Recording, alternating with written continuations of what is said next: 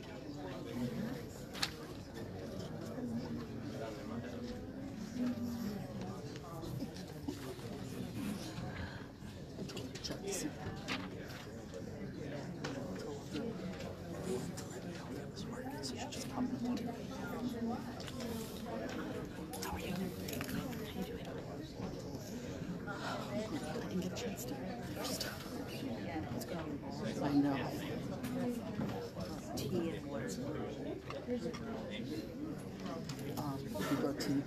Yeah, I brought water. Let's go. Let's go this place. Come, come. I brought peppermints. Look who's got a good seat over there.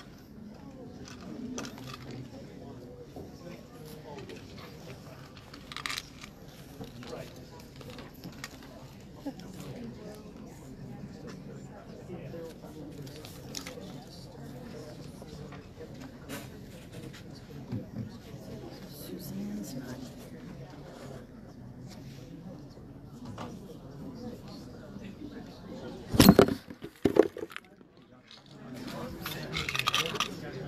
Okay.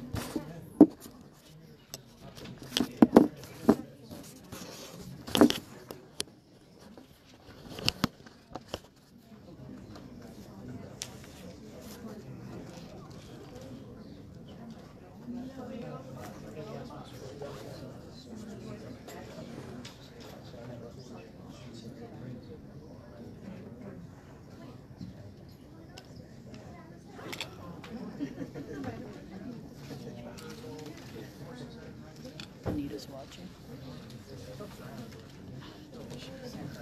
You're welcome, Anita.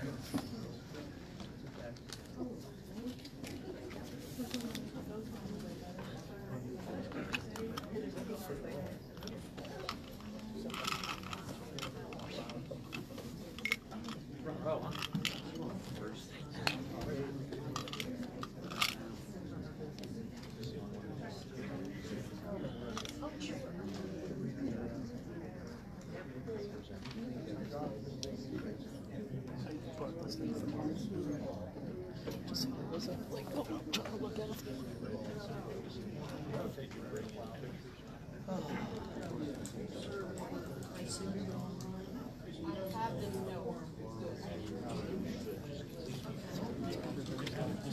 I know this is. Oh, fun. I'm sorry. No problem. No, I shouldn't. Looks like there's one over there, but. What's that? There. I said, no, I didn't know if you were looking for a tripod. I said, there's one over there. Always, always bring one, just in case. And the, one of the meetings, I think somebody left one behind. I'm sure that happens a lot.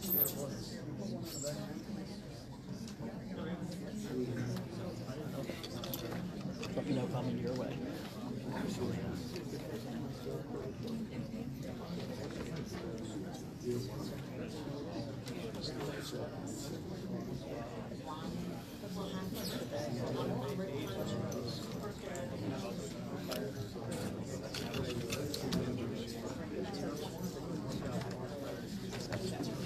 to get more people interested.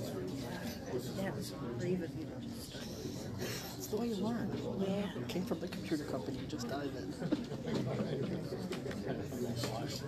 of I have to find out other ways that don't work Yeah. first. Well, I, I admire that you keep doing it and and I'd like to post it. Oh my God. And sure you had said something, but you didn't post it.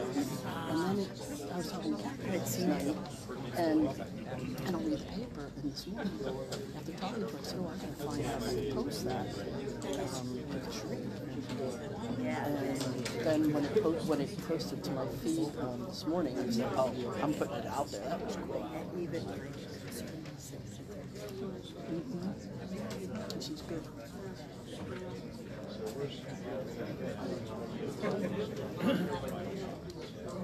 Um,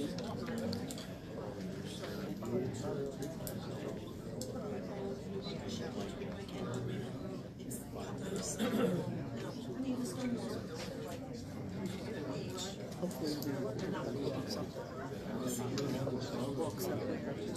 There. Pick it up and turn it around. You were prepared. Well, that, I, a letter. Now I brought my antique newspaper. Brooker has like an official. Looks what? He looks like he's official. No, I thought about sitting like, sitting at the head of the table, disappear back here a little bit.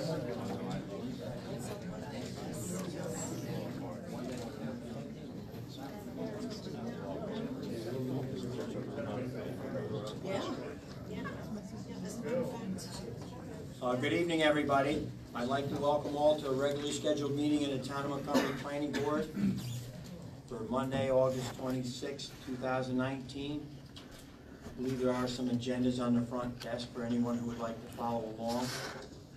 Um, Can I see a show of hands for people who would like to make a comment on something not on tonight's agenda?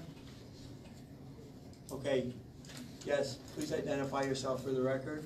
Thomas Walcott. I'm okay. Oh, I thought he was coming up. Go ahead.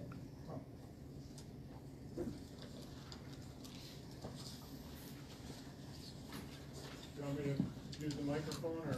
Yeah, and if you could, you know, we've only got about ten minutes for comment, because we got three public hearings and a, a number of other things to go over. Yes, sir. So, appreciate it. Good evening. My name is Thomas Walcott. I'm from the village of Maybrook. Hi. I have no vested interest in Medline Industries or Blue Water Industrial Partners, and I have no professional nor personal association with Mr. Featherstone of Mazer Consulting. Mr. Featherstone is the current Town of Montgomery Planning Board lead consulting engineer. Concurrently, he serves on the Orange County Partnership as a principal associate on the board of directors. Per Orange County Partnership's webpage, its mission is to find the most advantageous and cost-effective location for corporate attraction and expansions. Orange County Partnership is a private marketing agency for business development with an extensive history of support for Medline Industries. It is also noteworthy that Blue Water Industrial Partners is listed on Orange County Partnership's investor directory. As a taxpayer, I question if due diligence is being completed in an objective, manner, given the circumstances? Has the system of professional review been compromised? Did Mr. Featherstone submit a disclosure notice regarding his involvement with Orange County Partnership, Medline Industries, or Blue Water Industrial Partners? Did Mr. Featherstone recuse himself due to any conflicts of interest? Realistically, can one render an objective and professional re- review of Medline DEIS and Blue Water FEIS with vested interest in two diametrically opposed objectives? In conclusion, these are not idle questions without merit. On the contrary, they are being asked with the expectation that he will discharge his duties to the public's best interest, not corporate. In my opinion, any and all decisions regarding Medline Industries and Blue Water Industrial Partners will remain suspect until these issues are resolved. Anything less will be a disservice to the community, a violation of public trust, and perhaps an act of nonfeasance. Respectfully submitted.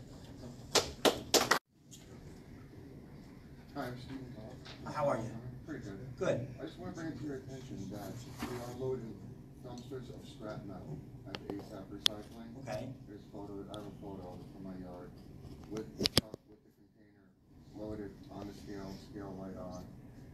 It is going on, it's been going on. And that was on Friday.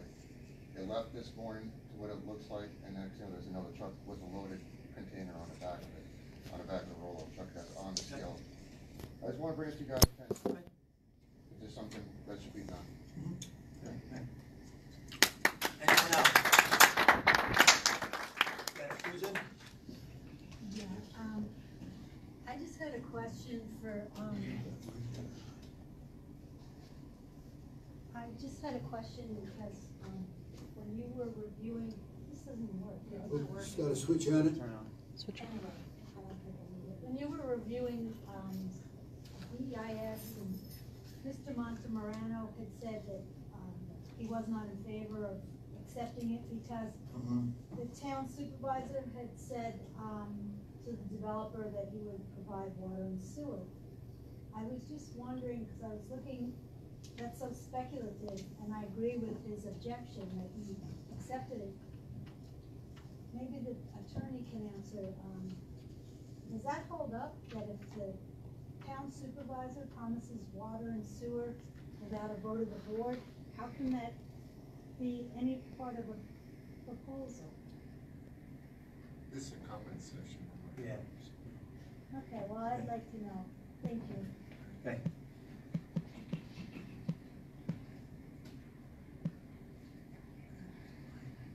Anyone else? Okay, so we'll go into our, uh, the first public hearing of this evening, nine fifteen Route seventeen K, LLC, Skibitsky Magerno. SEU permit, site plan, tree lot, commercial subdivision, a continuation of public hearing. Uh, Representing the applicants, Larry Marshall. How are you, Larry? Good, how are you this Fill us evening? in on, uh, Uh, we do have several documents into the board, uh, regarding, uh, uh, this application. Uh, This is a continuation of a public hearing for a three-lot subdivision and site plan. Um, we, we are awaiting comments from your consultants, um, regarding lighting, uh, the revised plans, uh, the revised site plan, um, some other documentation as well. So what we ask the board is that, uh, while we're here to, uh, receive public comment, uh, we don't, uh, have anything new to present. We're waiting back for comments to, to be able to revise the plans and reports and et cetera. Uh, so we ask the board to can receive whatever comments and then continue it on to the next meeting. okay? Yes, Andrew, go ahead. Larry, we got the, uh, the traffic review, uh, response on August fifteenth, so that's under review. And site plan comments are due back to the board on, uh, the second, before our workshop, so we should have that. On your latest, uh, set of plans, it says sheet one, uh, had a revision the end of July. Do you know what, it, it's not identified clearly, but I didn't know what it was. The end of July. Um, I believe that was associated with the hours of operation. I, I believe, I'll have to check on that, Okay. um, but I'll, I'll confirm that. I Okay. believe that was the only revision. All right. Um, So this hearing will stay continued beyond this evening. Uh, The applicant and board are awaiting comments from our consultants. And then we review them and we'll discuss them. Um, This is a public hearing, so we'll entertain a public comment. Uh, This, this hearing has been opened uh, since June, so um, hopefully we'll hear something we haven't heard before, and if you can, as we're going to continue this, if you can keep your comments kind of brief, so we can move through our agenda this evening. So is there anyone that would like to make a comment on 915, 17K at this time? Yes, Sharice? Thank you.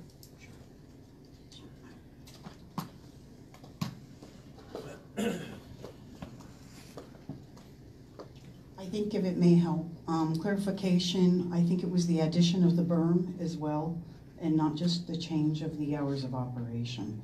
But again, we can verify that for that update. Um,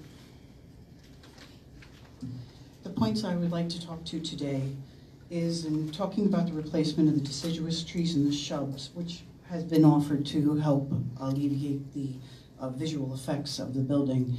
Uh, It is offset by evergreens. It removes the diversity of the trees.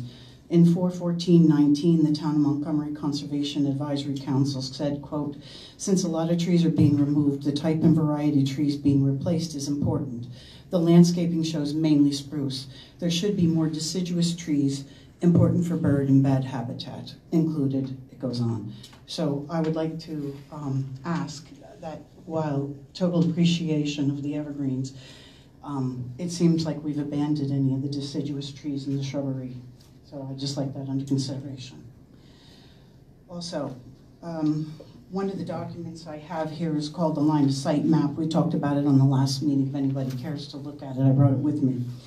I have some comments on that. We discussed it a bit in the last meeting where we were. Um, it actually appears for me to be a very generic template that's used for this evaluation. The document shows the residence, which is the residence of mine, in line of sight B to B, set at six feet high, uh, the high sight line at approximately the first floor elevation. The actual sight line from my home on the first floor is actually 10 feet above grade. I stood on the ground, stood in my first floor window, and made sure I made a mark, and it's about 10 feet. So my visual aspect is from 10 feet. I would like that to be noted. So therefore, the visual line of sights for both the horizontal and angular do not replicate the actual visual impacts. Uh, the document also only utilizes a single level home. The residence referenced in B2B is actually a two-story. So what about that line of sight that is not being included? Does this infer that what is seen from the second floor is not being considered, and if so, why not? And since we assume we're not prisoners to be forced to huddle in our home, why is the sight line only evaluating the home? There is a complex deck system set at equal measure to the first floor elevation, and it is actively used as a living area. And our yard abuts Route 17K, we're about 60 feet across, and so we are not allowed to be considered in all these aspects as part of that line of sight. On August 6th of 2019, am I too loud? Garling Associates Leslie Dotson suggests a simple noise study may be helpful to address noise impacts.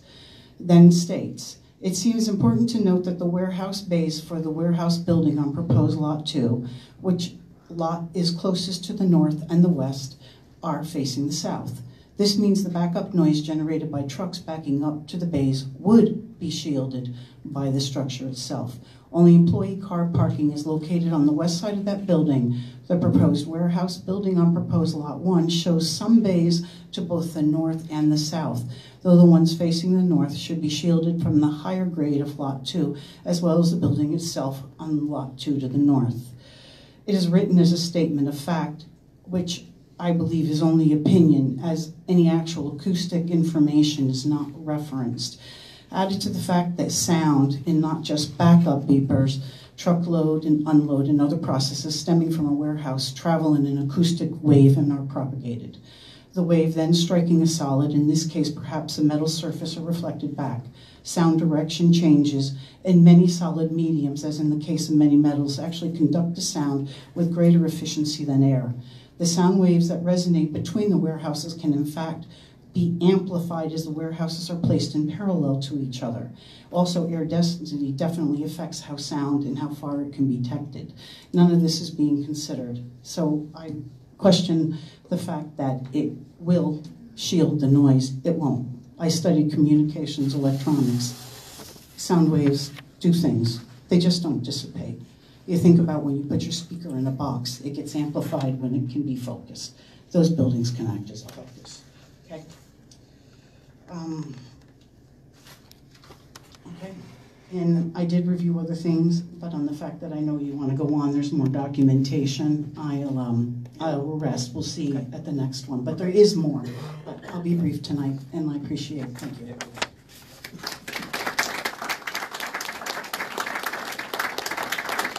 Um, Anyone else on uh, this project?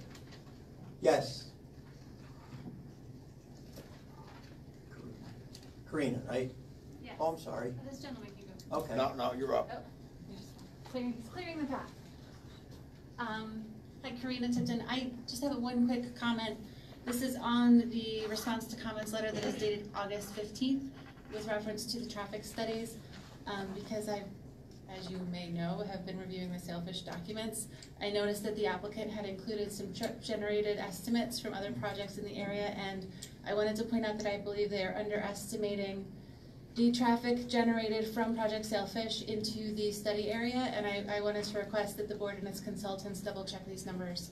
Um, I don't have access to all of the documents that are included on this. Um, also, I wanted to make a note that they're referring to a two percent growth of traffic in this area based on historic, uh, DOT data as conservative. And I wanted to note that that also is in opposition to statements made by other applicants. I believe the two percent growth is conservative, but I just wanted to point out that there's a lot of different traffic studies being submitted to this planning board, and they all have different conclusions being drawn from them. Thank you.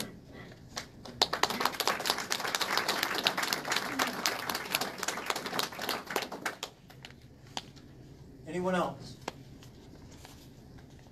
Yeah, Corey.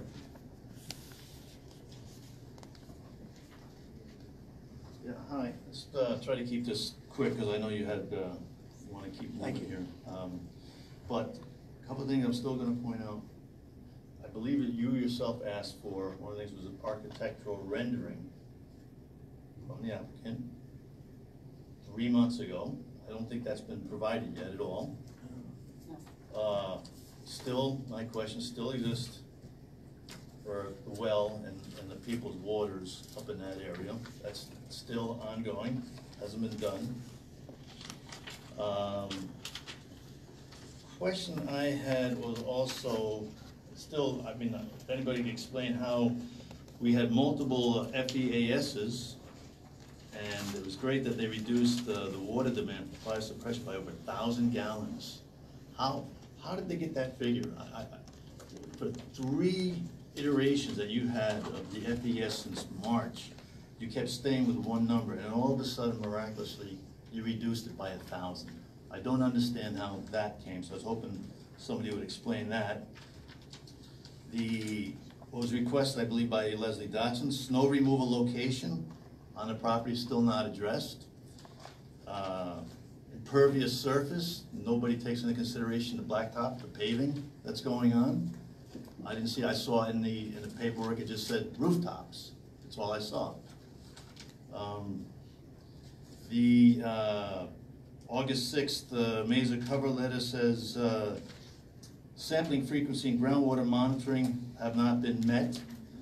But I'm just curious why there's no reference in any of his correspondence to well number four, which we now know is under a parking lot. And, uh, talking with the DEC, they still say that's still viable. Because we've had my own discussion with the DEC, as I'm sure they have as well. Um, the other question was, um, you, you saw the letter from the attorney, I know the last meeting, where they said they would give up construction on Sunday.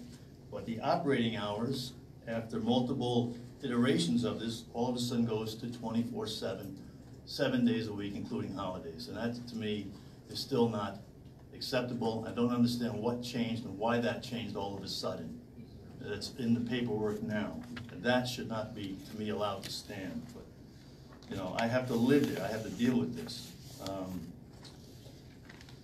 Again, uh, there was also a comment, I believe, by Leslie Dotson, was asking a question about lot three. I guess maybe it might be a parking lot for rep- repossessed cars, I don't know, but, uh, storage area. Uh, you're going to have to maybe put security fencing up, and how would you do that on top of a cap? Well, I called the DEC and they said, under no circumstances can you penetrate the cap. You'd have to have a lot of, uh, detailed information, so I make sure you know that. Um, The other thing, just very quickly, I, I know we talked about this being an I three area, and, um, it's, it's, it's supposedly this island. But I've come to learn that, that I three only became effect because it was the Skibitskis who wanted it that way.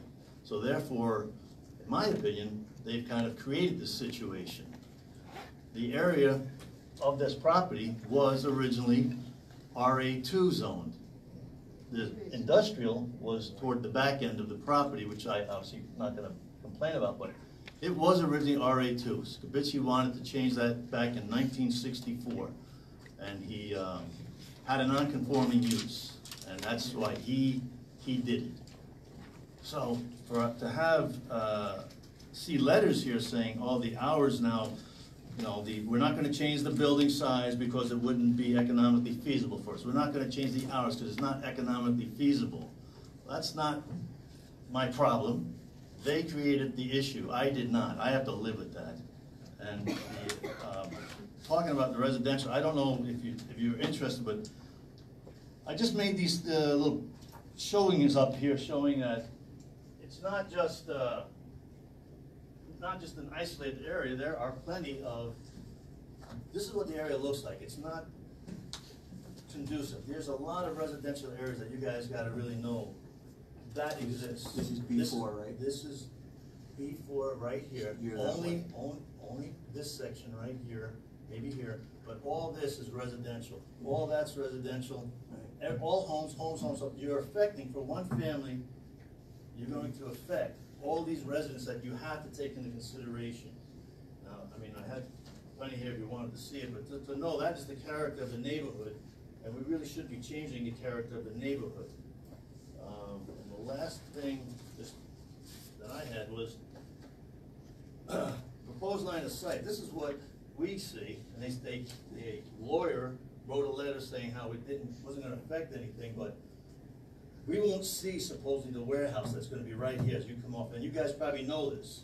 But you're gonna tell me I'm not gonna see a warehouse here on Bracken Road, and you're looking to put a proposed driveway cut right here? Right here on on Lakeview, and the school, the school itself is right here with the doctor's office and all these residents? It just doesn't make any sense. All right, So, thanks. Good. I don't know if you want a copy of all of it for everybody or not. That's It's up one, to you. just, just, this is fine, thank you. That's fine. And again, we will wait, I guess, to make the changes, or we'll wait for documentation, but we have contacted the DOT, and I know the accident report was supposed to be submitted too.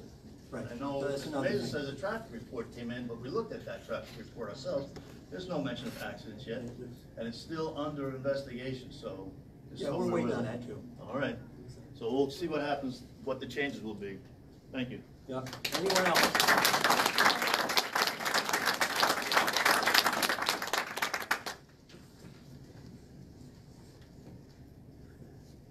That accident, um, history was submitted to DOT, Larry? Yes, it was. Did you, could we get a copy of that? Uh, We were, we sent it to you, we sent you a, a submission of it. Okay. Uh, if you need it submitted, uh, paper copy, that's fine, we submitted it digitally. If we could have a paper copy for the record, please? Sure. Um,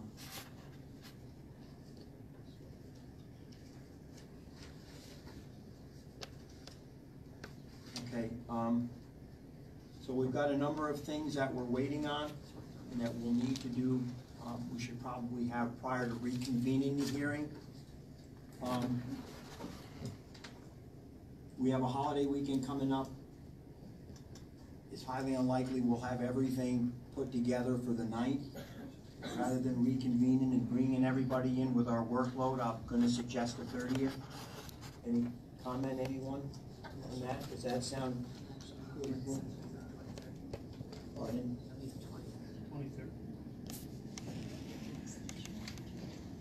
Oh, that's why. So it's gonna be September twenty-third, two thousand nineteen. We'll reconvene the hearing then. Pardon? Uh, we don't have anything else, so seven thirty.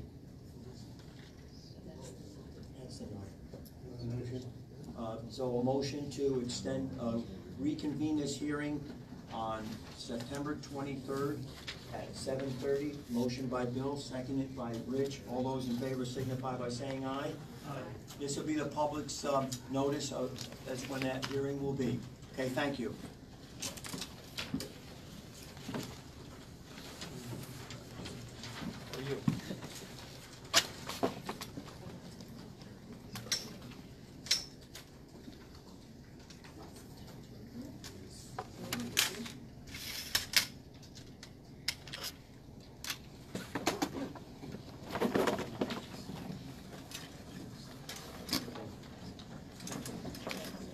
Okay, evening is KCE New York Two LLC and KCE New York One One LLC, Route seventeen K and Browns Road, SEU permit and site plan, battery energy storage, this is a, a initial opening of a public hearing.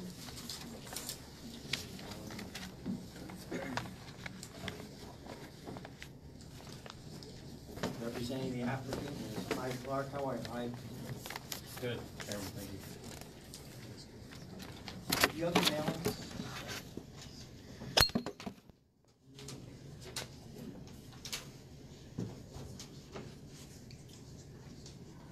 Good evening, Chairman.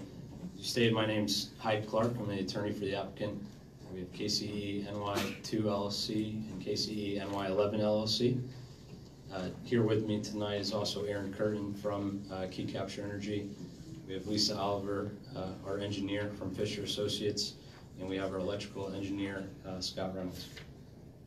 Just to give an overview, since this is our first uh, initial public hearing tonight, what we're proposing is two unmanned uh, battery storage facilities. They're located at, uh, near the intersection of Browns Road and 17K. Uh, Those uh, two proposed facilities are permitted uses, subject to site plan review and special exception permit as public utility structures. Uh, We're located near the Coldenham substation, which we will be uh, tying into with a gen-tie line from our facility. Behind the KCE two facility uh, is a proposed substation uh, to help facilitate uh, that, that building. So again, KCE two is a uh, fifty-four thousand square foot building. All the components for the battery storage facility are going to be located within inside, that building. The uh, KCE NY eleven proposed facility to the west uh, will be located, uh, those battery components will be located in containers. Those containers uh, measure uh, about 40 feet long and 9 feet wide, or 40 feet long, 8 feet wide. Uh, We did make our initial presentation, uh, initial application to the board in February. Uh, Just to update the public, we have been uh, to the planning board workshop session for two meetings. Our application has been reviewed by Garling Associates. I think we've had six review letters by Jim Farr, the uh, engineering consultant. We've had two review letters. We did receive our uh, Orange County Planning review letter back today, uh, and we'll have a response to those comments that we received today. Uh, We have two curb cuts on the KCE two facility and uh, one access point for KC eleven. We have received conceptual approval from DOT uh, for those curb cuts. And um, again, it's an unmanned facility, there's no water services to the facility, there's no sewer. Uh, There will be no traffic generated from the facility after construction. Facility's uh, monitored twenty-four seven, but off-site, so there's, uh, there, there will be no one uh, inside either facility. And uh, would just reserve uh, some time after initial comment if you'd like us to to come up and potentially respond to any comments that we received tonight. Okay, yeah, you, if you want I do have, um, I have a a site plan here. I have uh, visual simulations of what each facility will look like. If anybody uh, would like to come up after uh, to review them, uh, happy to meet them in the hallway and, and go over uh, anything that we have today. Okay, um, I'll open the floor up to comments. Um, anybody here like to ask a question, make a comment on this uh, proposal? Sure, just come on up, state your name for the record, and, uh, ask your question. Thomas Walcott from Maybrook. Uh, I had a question with regard to the size of the uh, batteries that they're talking about and that they're gonna be self-contained. Would there any uh, special arrangements have to be made for firefighting? I do want to, Thank you. So uh, the technology is lithium-ion batteries. Um, In terms of the, the size of what they are, is they're uh, arranged in modules, which are then arranged in racks. Um, Within that rack is a uh, fire suppression system uh, to manage that. The cells are uh, what are called starved cells, so there's actually, there's no free-moving liquid within the cell.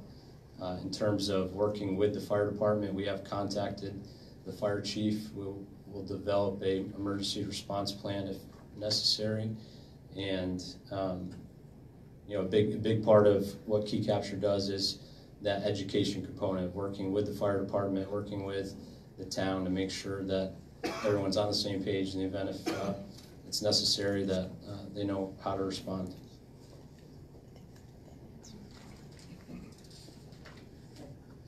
anyone else? Yes?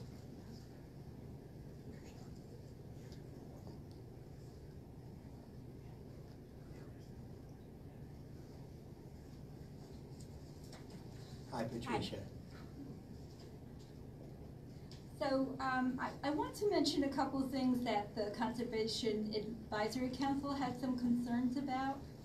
Um, one of them um, was in when, when we looked at the acoustic study, table three, um, it says the sound level will be between 45 and 53 decibels, analogous to between moving from quiet urban nighttime to quiet urban uh, excuse me, using quiet urban day, nighttime and quiet urban daytime sound levels. So that means that people on this relatively quiet rural road will be experiencing quite a change in the sound factor. And we think that sound screening methods um, should definitely be employed, particularly since the noise is intermittent um, it can be startling if it's not a regular type sound.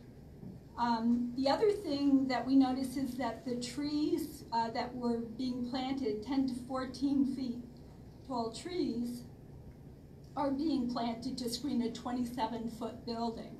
So it doesn't seem like there's really going to be much vegetation, um, you know, dispersing the sound. Um, the other um, factor, I read through the NYSERDA guidelines for storage batteries, and um, it seems like there's some, uh, somebody mentioned the fire factors. Um, there are quite a lot of strict regulations regarding fire safety. Um, they also mention potential to release toxic gas during charging and discharging and normal use. Um, they say there should be a hazardous exhaust system, which I don't know is being included. Um, they definitely um, say there should be an emergency operation plan. Um, the other factor is um, in terms of the proximity to Tin Brook, we're concerned that the Tin Brook and the wetlands may be affected by this in terms of um, uh, this reduction in wetland storage facility, and since it's very close to Tin Brook, and also um, the type of material and gravel that's being put down could possibly change the pH of Tin Brook. So those were a couple of concerns we had. But the biggest thing, I think, is the sound factors and the health, possible health hazards. Thank you. Welcome.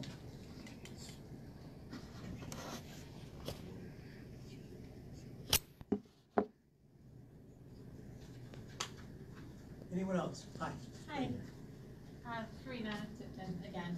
Um, I have a, a question. In reviewing some of the documents provided by the applicant, in one of their submittal cover letters urging for a fast review from the planning board, they made a reference to um, the expiration or the closure of a winding for some type of funding or licensing, um, which I believe has already passed, and I, I wanted to ask if that was still a concern, and when the next um, licensing or funding window would open up.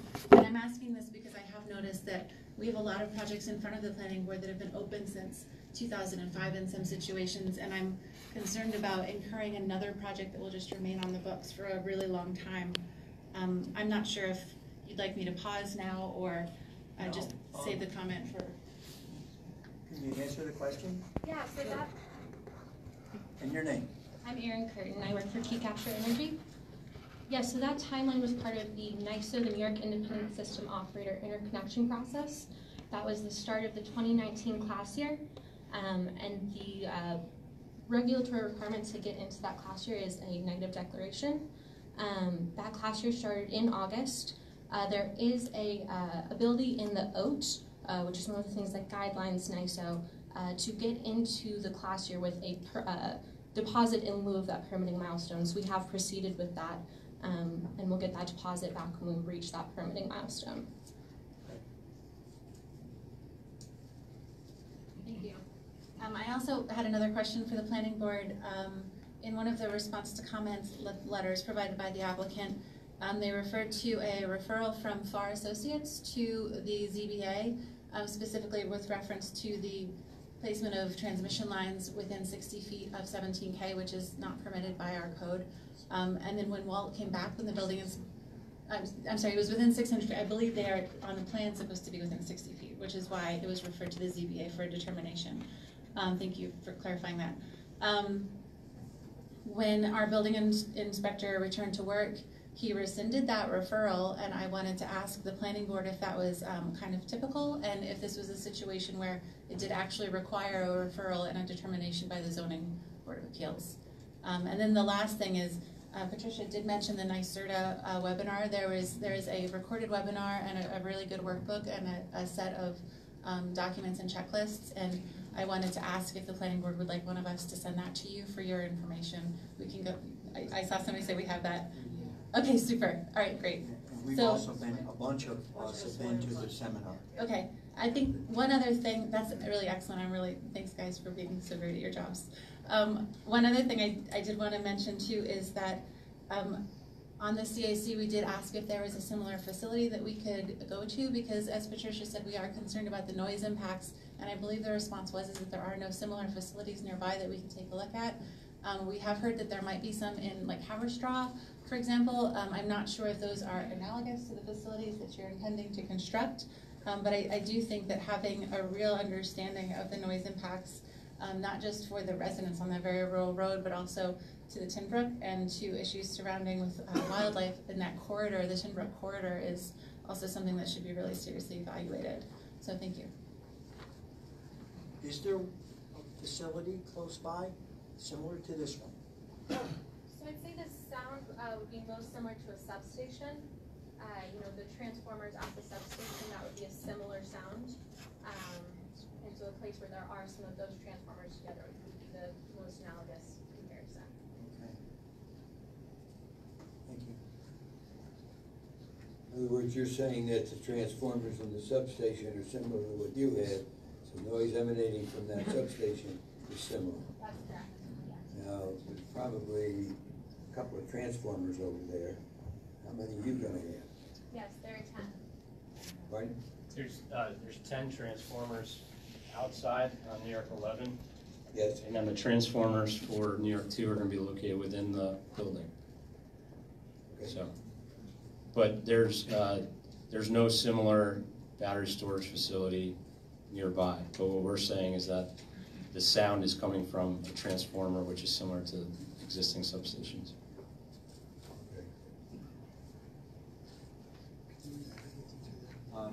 Just to clarify, it was Walt, it was uh, Chairman Fallon of the ZBA that asked Walt to relook at it after he received more information from the applicant. Anyone else? Okay, um.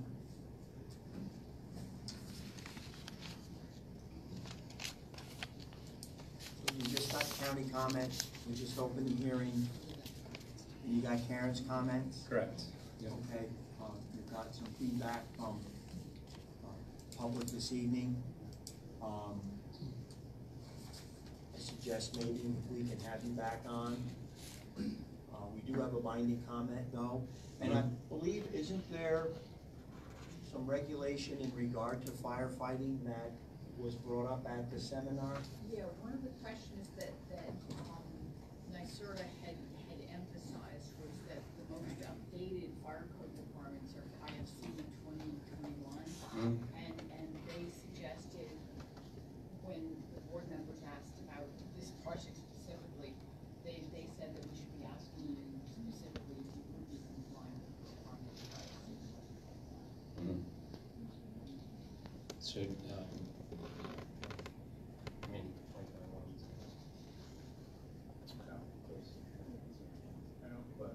The, uh, so, I mean, this, uh, our, this project, NY two, is probably not gonna be constructed for, you know, two to three years, so, I mean, to make it a condition that we have to be in compliance with the, uh, code that's in effect at that time, I mean, that's, would be part of a building permit, I would think. Uh, Well, from what NYSERDA was saying, is what matters is the application date. So Mhm. that's why they were so emphatic about suggesting that, that we should ask what you're intending to do. Mhm. And, and I think the board would not want to be in a position of having to set a condition that may be objected to later on, on the grounds that it was not applicable. Yeah. So if you're offering that, it would be, Yeah, we can dis- discuss that and okay. Okay. The Respond to next that. question was, um, they said that we should be asking you about a decommissioning plan and bonding for the same. Mm. And, and they, they explained that that was actually more important than decommissioning for the solar panels. So we would want you to address that as well. Okay. No restriction. Yeah. Now, obviously, but yes. And we will be creating a full decommissioning plan for that. Um, you know, at this point, I know we Can't submitted. hear you. Sorry. Uh, we will be submitting a full decommissioning plan for that, uh, creating a full decommissioning plan for that. At this point, I know we've submitted, uh, you know, that one-page removal letter. It was with our initial application back in February. Uh, but there will be a full decommissioning plan for this project. Okay, thank you. Um, do you have a spill prevention, control, and countermeasure plan? We do, we've submitted that for both facilities. Okay, so we have that. Yep, yes, that's been submitted, and uh, I know that that's the one binding recommendation, so we have no problem meeting that. Okay. Yes, Rich? Basically, three of us from the board and our planning consultant went to the NYSERDA seminar a few weeks back, and it was uh, certainly very eye-opening, us, these type of facilities. Um, I guess it's called a tier three dedicated system. And NYSERDA s- basically spoke about a series of plans that you needed to provide to us. Um, commissioning plan, a fire safety plan, operation and maintenance plan, hazard mitigation analysis, and a decommissioning. Mhm. Um, So, Well, I think we've touched on a, a few of those that, that we will be submitting that, so the decommissioning plan, Believe we're also, and. Yeah, I can um, add a little bit more to that. So we will be creating all of those, uh, you know, we are required to, to do that for other reasons as well. And so we will be creating full sets of those plans.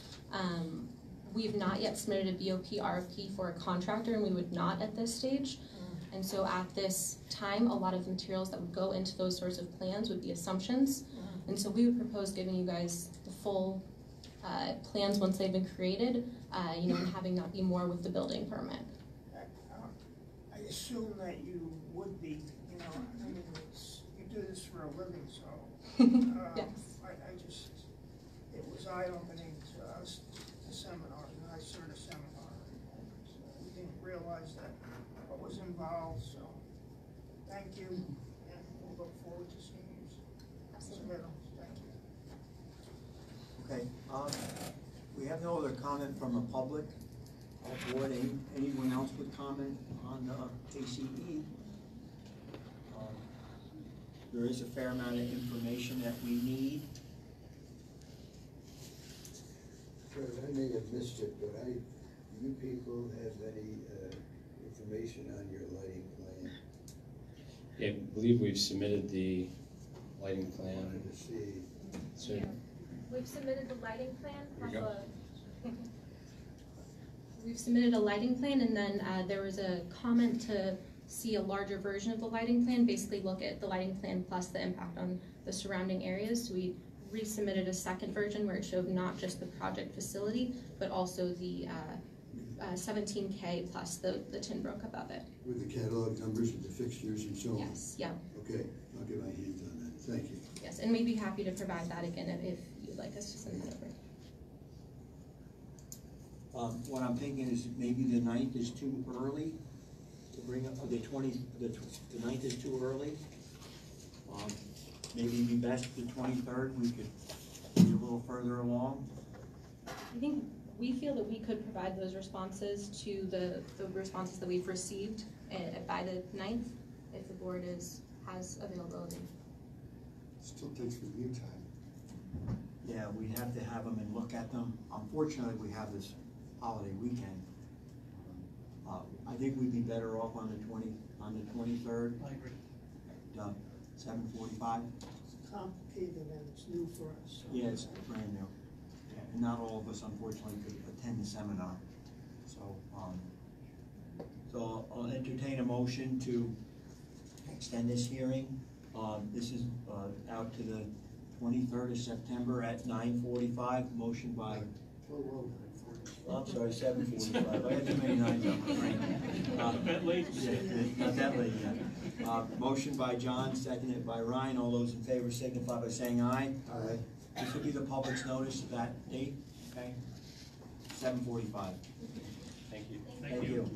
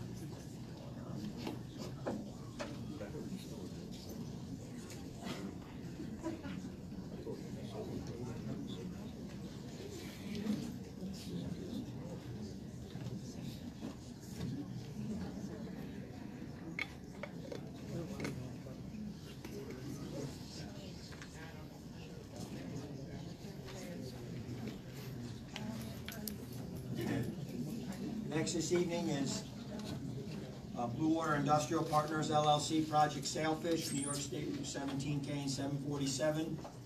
SEU permit site plan, continuation of the public hearing. Um, We are awaiting the compilation of our review on the site plan um, for the applicants, um, for our review and the applicant's review.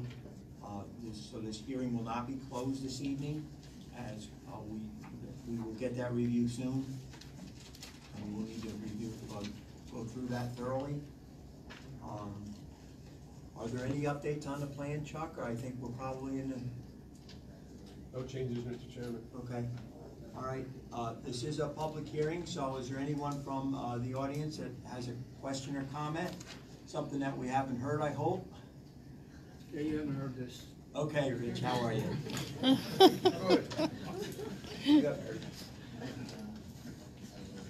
Well, thank you. Sure. Okay, uh, there's uh, little that could be said that uh, Blue Water hasn't come up with a solution for, you know, I mean, they, they've taken care of everything. Um, So what, what, what more can you ask, right? But I got a problem, fundamental problem. And um, I say that the town board and pl- the planning board do not have the authority to broadly interpret zoning for Blue Water and Medline projects as allowable structures accepted, acceptable under the existing zoning codes. The planning board responded on numerous occasions to those questioning the legitimacy of the million square foot buildings with comment, the building is allowed by our building codes. This allowance came from the planning board and town boards making a special permit use to include million square foot buildings without public approval. The fact a building such as a warehouse is allowed in each location, International Boulevard and 416, is not basis for including over a million square foot building structures in those proposed locations. A 40,000, 100,000, or even a th- 250,000 square foot building could be conceived included in the code as it is written now, and such buildings could be acceptable. However, a million square foot warehouses are another matter, as they encompass more than just a simple warehouse. They are in fact an entire pollution factory of noise, air, water, sewage, groundwater, visual, traffic, trash generation, and not least impermeable surfaces. Uh, you can't compare a 40,000 square foot building's permeable surfaces to a million square foot building. Locations of proposed buildings over 500,000 square feet have to require public approval in advance, and the master plan should indicate exactly where these megastructures are going to be located on a zoning map with red blocks. Public meeting must be held to have locations pre-approved and not by rationalizing the term warehouse as inclusive of all sizes. Size does matter. The town of Montgomery master plan should clearly state the only place in Montgomery allowing million square foot buildings is on Neelytown Road unless approved by the public master plan. Town board and planning board should not be allowed to adjust the code book to fit the building size. These two projects should be put on hold until public meetings can be held to approve locations for any buildings over five hundred thousand square feet. Until locations are approved through public meetings, Blue Water and Medline projects should be on hold.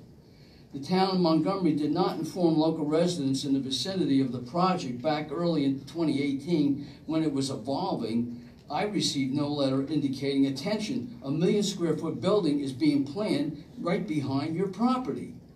I never knew that. Everybody should receive a register letter on this project right out at the starting gate instead of major decisions being made for six months before most even knew about it. If a million square foot building warehouse was being scheduled behind your house, would you not like to know about that right away? This project was stealthily conducted for the better half of 2018, where significant decisions, zoning changes, and sewer plant custody were being made between Blue Water and the town supervisor. These projects should have been disapproved when it was laid on the supervisor's desk at the beginning of, beginning of 2018 because there was nothing in the code book that talked about buildings of these sizes. At best, the code could include a 250 or 300,000 square foot warehouse, but insinuating the code allows 1.1 million warehouses is preposterous. Although it is technically and physically possible to put a million square foot warehouse on the proposed sites, that does not imply it is a good thing to do. Both areas have very sensitive wetlands and the size of the buildings are overwhelming. There is a serious problem here with our master plan and code book. The big picture is size doesn't matter. If this project was one-third the current si- design, I think it would be acceptable to many people now who are against it. Um, the sewer plant. the FEIS stated this facility, and the FEIS stated this facility, I know I was here before, and, and the, uh, the attorney here told me that it wasn't gonna happen that way, but it does state it in the document that the uh, facility will be turned over to the town of Montgomery as soon as it's completed. As I have previously stated, ownership of this facility was a make or break decision for Blue Water to continue due diligence. It was done early in the project, probably around May or June of 2018. I am very confident Blue Water's continuation of its due diligence was dependent on this facility was handled. Without a doubt, Blue Water seen the facility as a headache, a problem they did not need, and interfered with the Bing building, so, so sought relief through the town of Montgomery. Blue Water was not going to be satisfied with a verbal from the town supervisor or even the town board. Blue Water wanted a commitment in writing, so the building inspector was directed to send a letter to Blue Water in September last year committing to assume ownership of the facility. This was not only wrong, it was totally unnecessary commitment. The urgency for this town to assume ownership gives you some idea as to the importance of this matter. This issue should have been never been agreed to without a public hearing concerning the takeover of the facility by the town. Furthermore, because of this early commitment, all planning board meetings since January were essentially for naught, since the decision about this was made half a year earlier. There should have been an open meeting to the public requesting approval to take over the plant. A public meeting should be held on this issue before any further work proceeds on Sailfish project. I'm very confident that a public meeting will not be in favor of taking over the, the ownership of that facility. Um, that's all I have.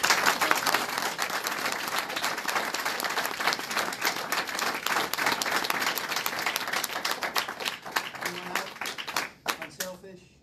Anybody else? Yes. Barbara, right? Yes, Come on up. I'm actually surprised that nobody else is speaking up tonight. Well, we're going on another.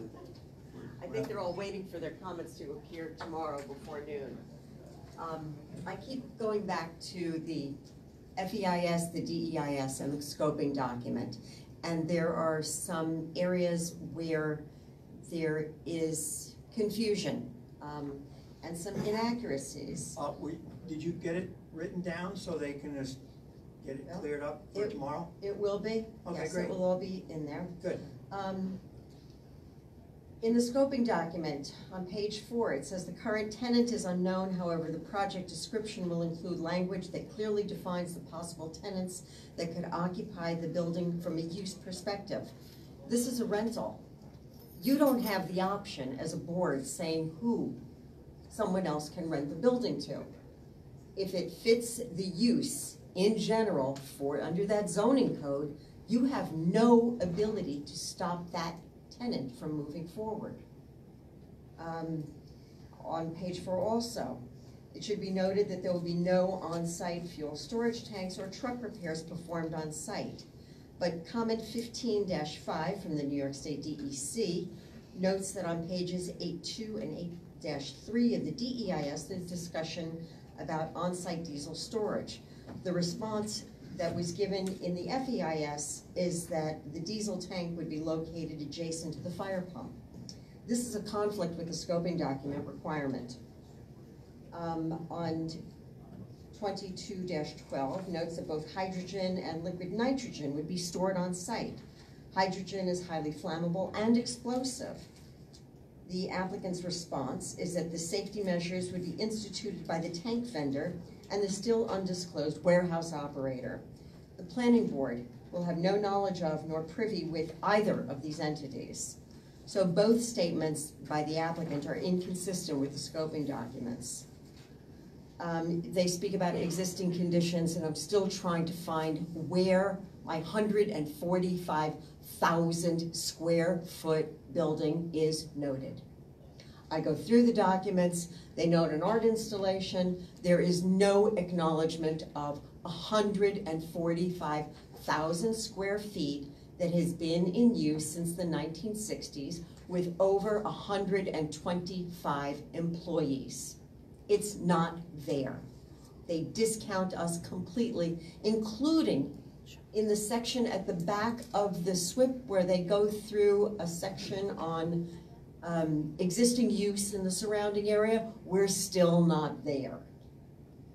I've talked numerous times at public hearings about Polich relocating back to this facility with 100 full-time year-round employees. And the acquisition by UAP, who is a multinational art fabrication enterprise with corporate offices on three continents and general offices in 40 countries. And this is adjacent to the public site. They, we have discussed um, expanding onto the vacant land on the west side of 747. However, it's unlikely that they will do so as the runoff from discharge point three and discharge point one feed either the wetland on the southern portion or the outfall on the northern portion. There's a stream that divides our properties, which will be overwhelmed with additional water. The stormwater plan discusses rate and not volume. The soils are already hydric soils. We have been maintaining the property to keep down the vegetation. The only third qualification for creating a wetland is standing water. So I meet the first major requirement by soil condition. I'm maintaining the property by mowing it so I don't yet have all of the wetland vegetation. Once that water comes, I'm done. My property becomes virtually unbuildable. Um, it's been shown to levels of cortisol in both children and adults, and that can contribute to everything from cardiovascular disease, cognitive function, and sleep disorders. Um, this information has been brought to the board prior, not only for this project, but for others, and there, nothing has been addressed to mitigate this problem. The thought that plantings are going to stop sound is ludicrous. They don't, and the plantings will take 20 to 30 years to develop and be tall enough and dense enough to have an impact. Um, the applicant was also required to describe the area, list the impacts, and provide mitigation. I'm getting tired of their comment, which states too many times to even count that the project has been designed to limit adjacent area impact to the greatest extent practical. I don't want practical, I want possible. Possible isn't included. As I stated uh, earlier, the, this is a wildlife corridor. This project encompasses virtually all of the buildable land.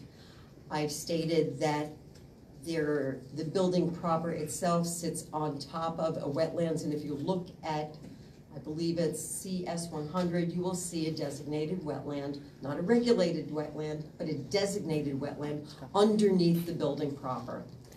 When I look at the drawings and compare drawings from, um, I think it was CS 100 to maybe it was CG, it's difficult to determine what is an access road and what is a stream bed.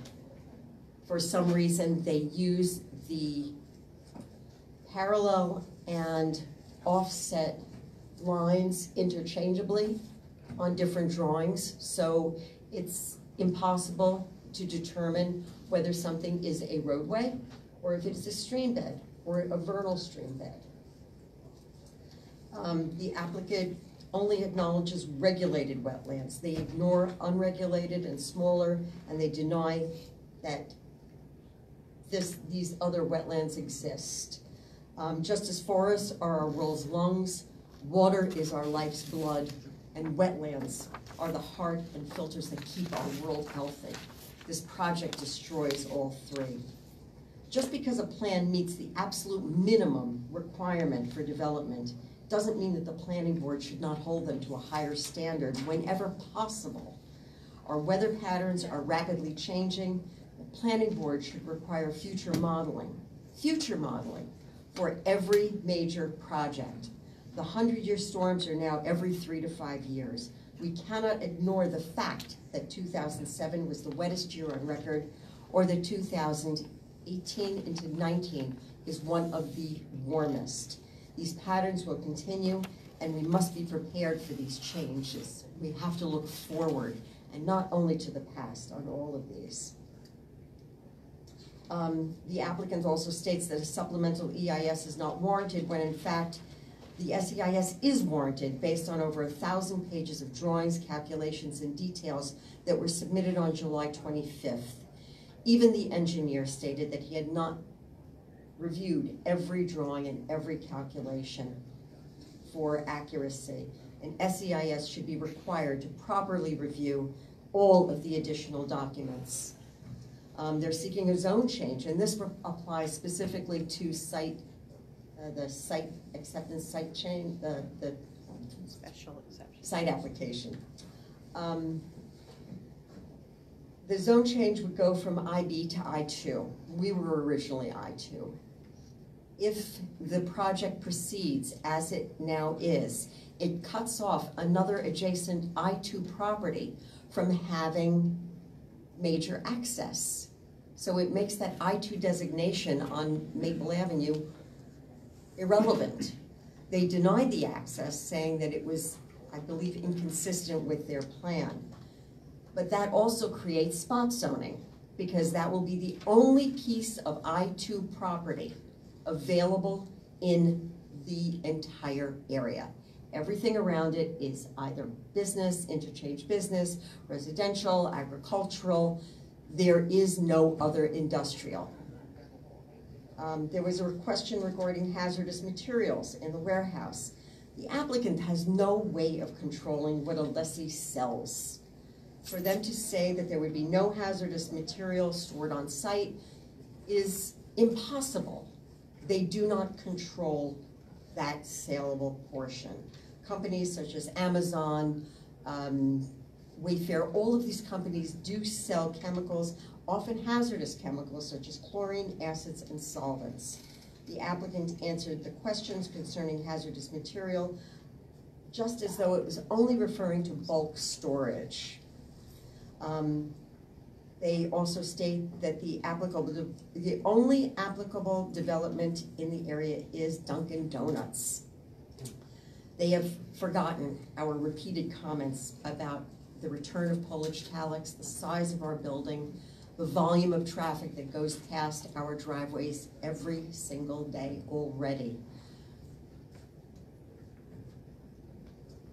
In the traffic impact statement, the level of service, with A being the best and F being the worst, gets worse in the build conditions.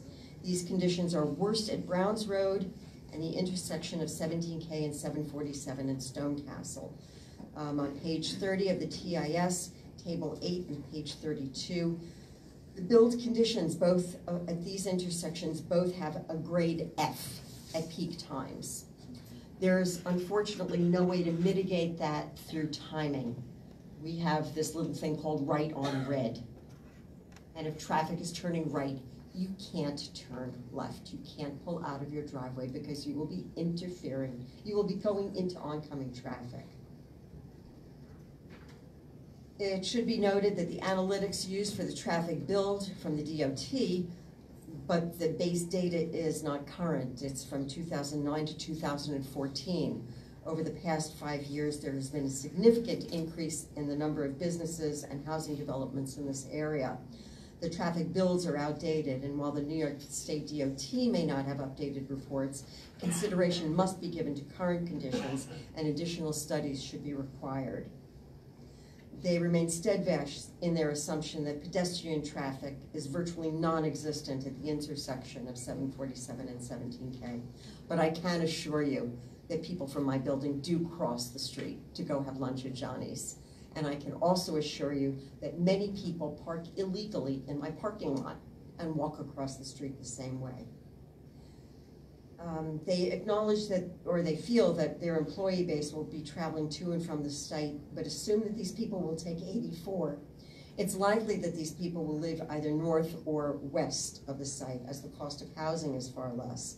These people will be more likely to take either Rock Cut Road to 52 or 17K to Bloomingburg and take 17 going north, as these roads provide the shortest distance and fastest transit to these areas. While 84 is an interstate, it's not always the shortest distance or the shortest time between these areas. Um, the applicant has acknowledged that runoff will increase.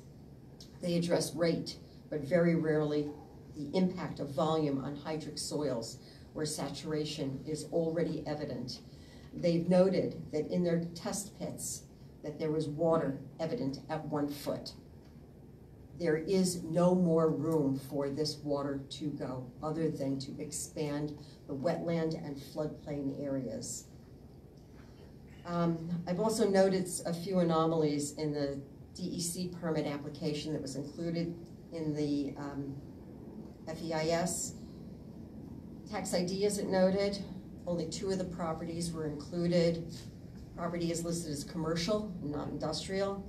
There's no note of potential runoff into the wetlands, even though construction will occur in the areas adjacent. Um, Question 27 was odd. It listed a reduction in parking when the original plan called for a third as many cars. It went from like 300 and change to over a 1,000. Long-term operation and maintenance is listed as Blue Water Industrial Partners, but the applicant states that in the IDA application that it will be turned over to USAA, and then that maintenance of the property goes to the lessee. So that is an, an, an inaccuracy in the DEC um, SPDES permit. Um, the application is still not signed or dated, and I don't know if that is a requirement at this time. Um, I've spoken at length about future plans. I've talked to the board in great depth about where the town should be looking, what we are going to do, and what we want to be. I want you to take a step back and look at viable projects that would enhance the community with well-paying jobs. Look to create corridors of technology, corridors where 3D modeling and 3D printing is a viable source. We've got a huge arts community, a tremendous theatrical community in this area. To be able to utilize this property for something other than heavy, other than a high impact, low rate of return on employment, because these are not high paying jobs, would do greatly to benefit this community. I want to see something that is more than a great big box on the hill. Thank you.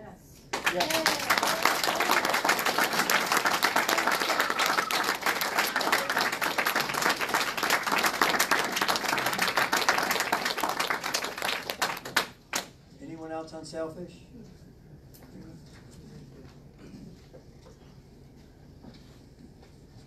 My comment isn't going to be as good as Barbara's, but um, I'm just limiting tonight's comment on the, um, the site plans. Yeah, Um, thank you.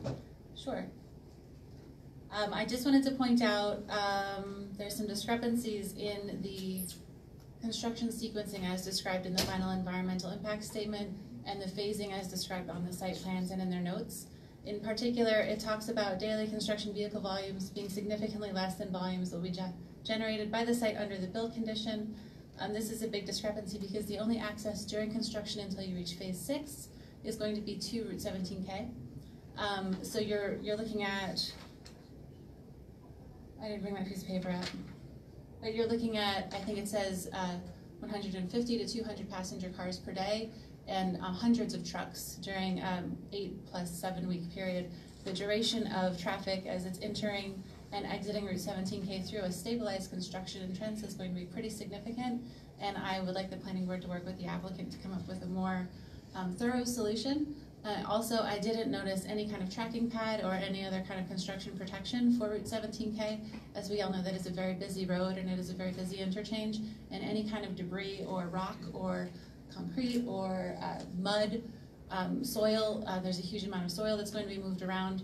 They've got a, a very long access road, and I, I, just didn't see any stabilized. In addition to the stabilized construction interest, I didn't see any kind of tracking pad or any kind of method to uh, prevent sediment control um, when you're going in and off of the site.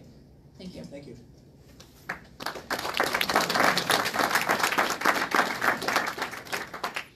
Anyone else on sailfish? Yes.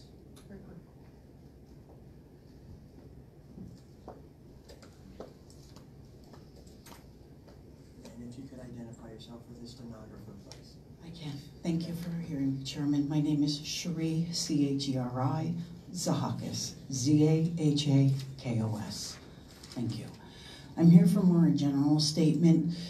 Uh, as we absorb and try to evaluate all the warehouses, I've taken the time, and I'm not sure if any of you have had the ability to sit down and look at our zoning map. I've tried to evaluate uh, using both Google Maps and even uh, learning even a little bit more today working within the planning room itself. When you look at the I-1s, the I-2s, the I-3s, and the I-4s, when you evaluate all those lands, most all of them are now taken.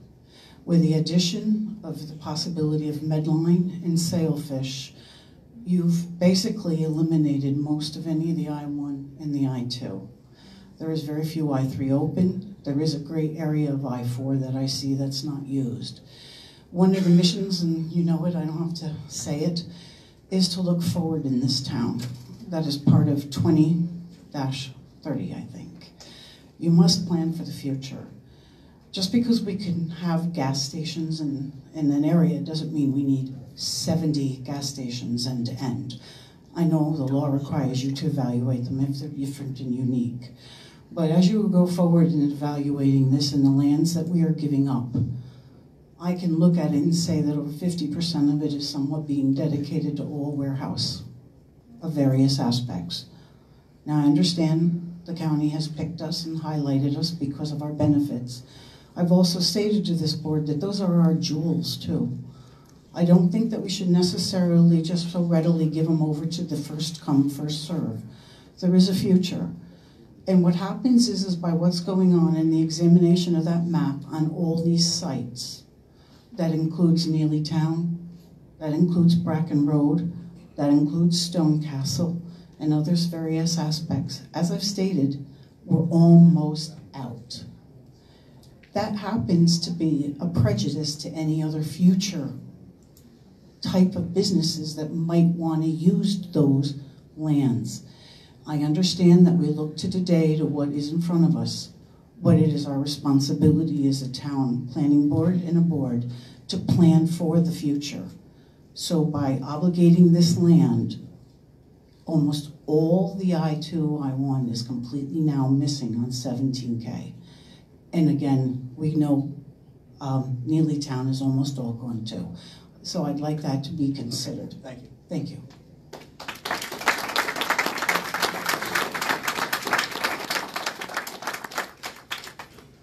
All right, anyone else?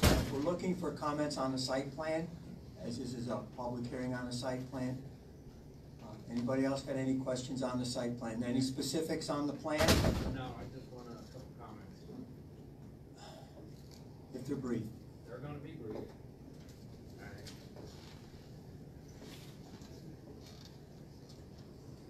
How you folks doing? Good. I'm Roger Wright, I'm a resident of Montgomery, I'm gonna live near this Amazon warehouse. Um, Have you, any of you ever been to an Amazon warehouse? I recommend maybe you get on a bus and head down to Hazleton, PA, where they have a big Amazon warehouse. See what the truck traffic is, especially at night, because that's usually most of them uh, end up there and get unloaded. This facility, you're gonna have uh, jockey wagons, which will have beep up, uh, backup alarms, flashing yellow lights. You're gonna have, what, almost three hundred trucks there at one time? That's a lot of, lot of diesel fuel up there in the event there's an accident. Uh, you talk about lighting on some of these facilities. As it is now, when it snows in the wintertime, Stewart just about lights up most of Browns Road in that area. What do you think this lighting is gonna do? Especially to that new development that's being built right across the street. You know, you, you're giving tax breaks to everybody. We as taxpayers are gonna be flipping the bill. Did you ever consider about just making it a development? So when people drive down seventeen K, There's a beautiful established development there, houses that people can be proud of when they drive in there. Instead of driving down seventeen K and people go, ooh, who would live around here with these warehouses? I'm in the trucking industry, you know? And you have no idea what the truck traffic's gonna be at night. So I advise you, take a trip down to Amazon in Hazleton, PA, and see what it's like all night long. Okay, thank All right, that's all I have to say.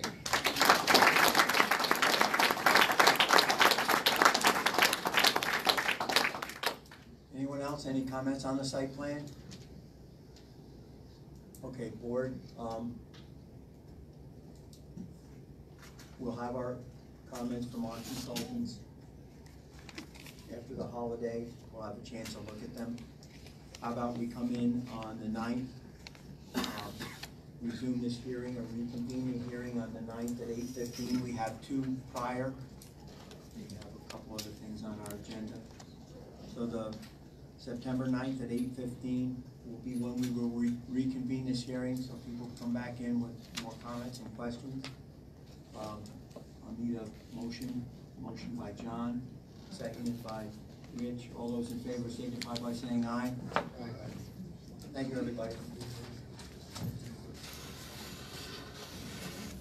Tomorrow at noon is the last day, or tomorrow's the last day for written comments on the FEIS. Just a reminder for everyone. Thank you. Okay, next on our agenda this evening is uh, Galaxy Limited.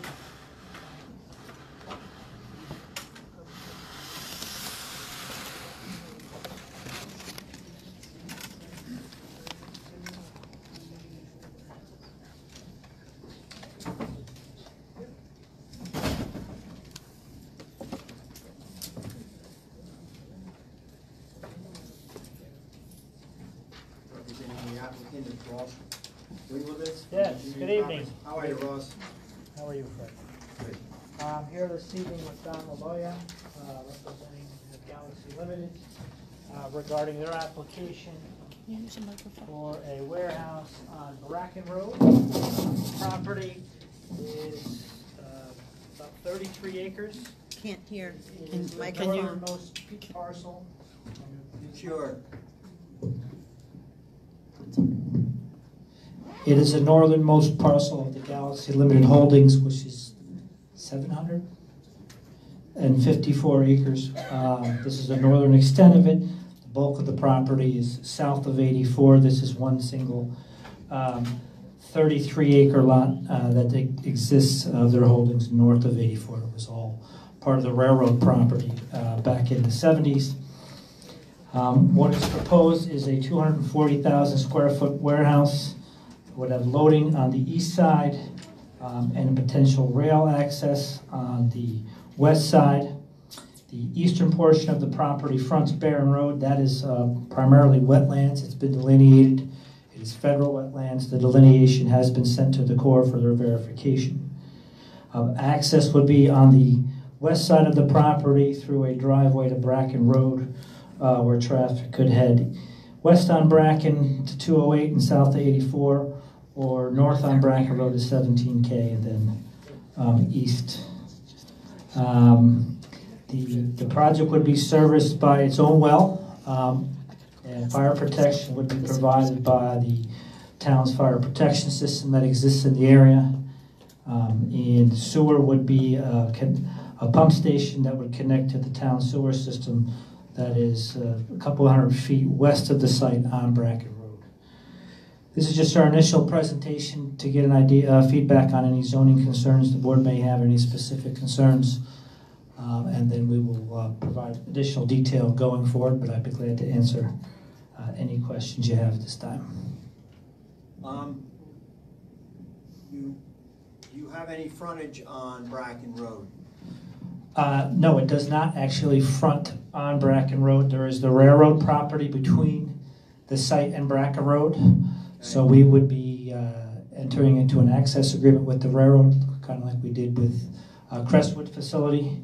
Um, all the legal frontage is on Barron Road. We have met with Middletown, New Jersey Railroad uh, preliminarily um, to discuss the site. They're excited about uh, providing additional rail service in this area. We're very glad to see you got a railroad in there, Russ. There's not many sites left. Uh, Donald has been getting a lot of interest in the property. We don't have a specific user at this time, um, but there are a number of people that have touched base with him over the last several months uh, regarding a site that has rail service. So Russ, uh, how many loading docks do you have on this? Uh, we have room for 37. Not that we would build 37, but we have enough room for 37. okay, okay. And where are the truck, uh, the trailers going to be parked? We didn't provide any additional trailer storage on site. We could. Um, in this area, there's no wetlands. We could provide additional trailer storage if it was necessary. to be determined. To be determined, yeah.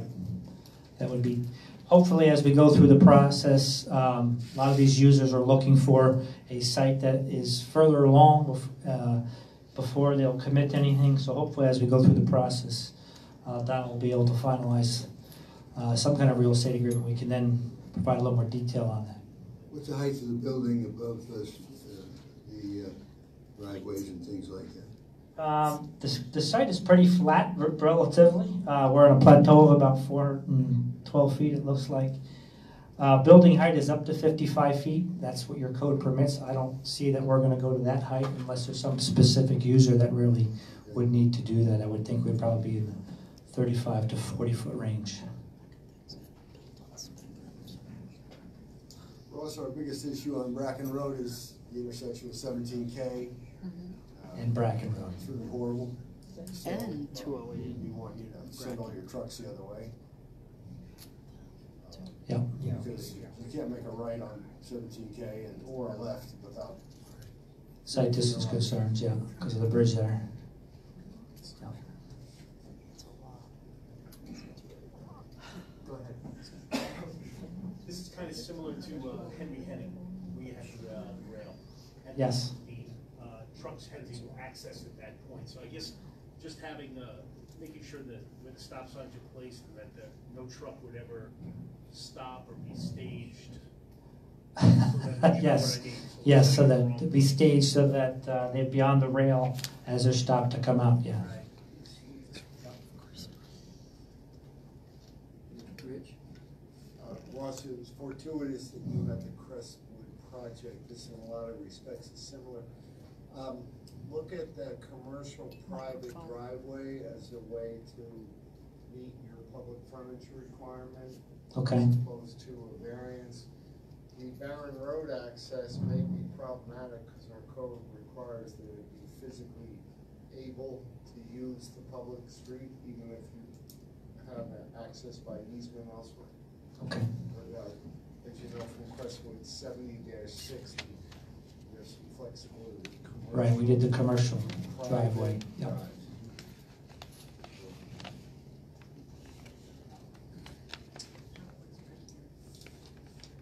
Russ, we took a, we took a walk out on the site, and, uh, the biggest concern we had was the northern portion of the property where the stormwater management basin.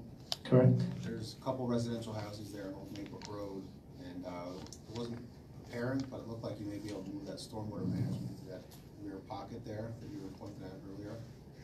Um, I think that may give you some more buffer, if that's possible, uh, with grades and things like that. And I think, I think it is, right? And if there's anything you can do to kind of keep that uh, residential area screened as best as possible with the, uh, Okay, we'll definitely take a look, take a look at that as we develop it. This area here is that, uh, looks like four oh eight, four ten, and we're gonna be, I said four fourteen or so, so that's definitely, looks like it's possible.